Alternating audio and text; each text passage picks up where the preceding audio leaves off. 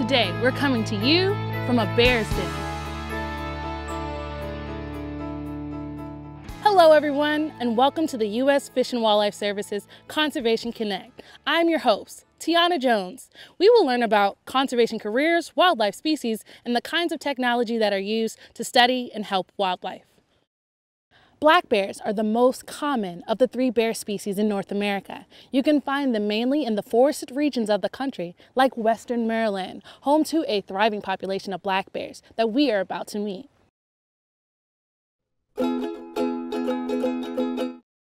Today, we're lucky to have a real live bear biologist with us, Harry Spiker. Harry, how did you get into this kind of work? I mean, not very many people get the opportunity to work with bears. Well, Tiana, I, I knew since I was little that I wanted a, a career in conservation. And so uh, eventually, uh, after working a, a, lot of side jobs, I went to college and uh, studied wildlife and fisheries science in college uh, until I, I eventually uh, got into this field and, and got to work with bears. That must be very rewarding. it, it is. It's a wonderful job.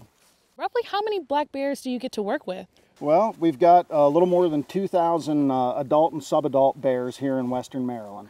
Wow, so you get to look out for more than 2,000 adult bears. That must be a lot of work. I do, and there's a, lot that goes into it. Uh, today we're out here doing a reproductive survey, um, but there's a lot of work we do year round uh, that deals with habitat, making sure that the bears have appropriate habitat. And a lot of a bear biologist's work these days is dealing with the human bear interaction side of things okay. and uh, trying to manage the population at a suitable level for people.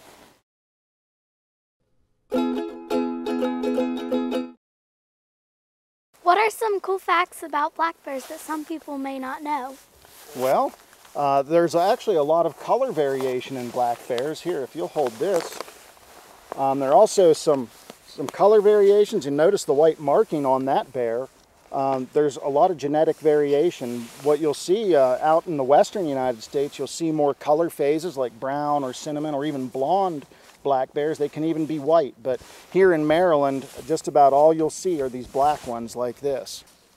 They're also omnivores. They eat just about anything. Um, and they're opportunistic feeders. And here in, in Western Maryland, uh, their single most important food source is acorns, believe it or not.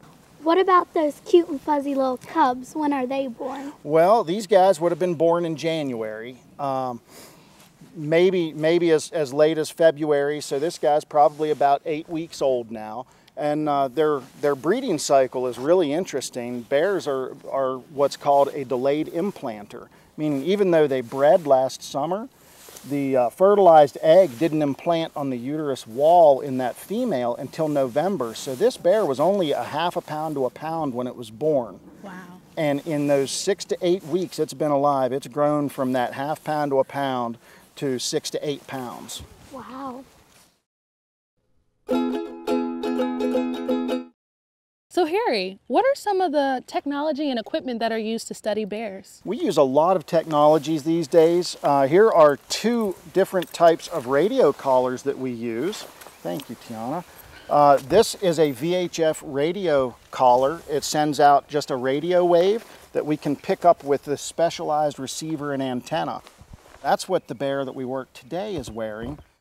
This one, in addition to the radio waves, uh, also has a GPS on it. So that's what this so is? So that's what that is, and that will send a GPS location twice a day to a satellite up in the sky, okay. and I can sit at my computer and find out where that bear has been today.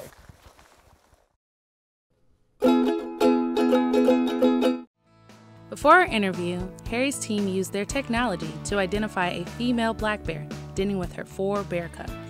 Once on site, we divided into two groups. Half of our team worked with Dr. Sander, who provided medical attention to the mama bear. The second half of our team assisted Dr. Driscoll, who performed health checks for the four bear cubs. We ensured that they were in good condition and properly tagged for tracking. These methods are used by scientists who study black bears all around the country.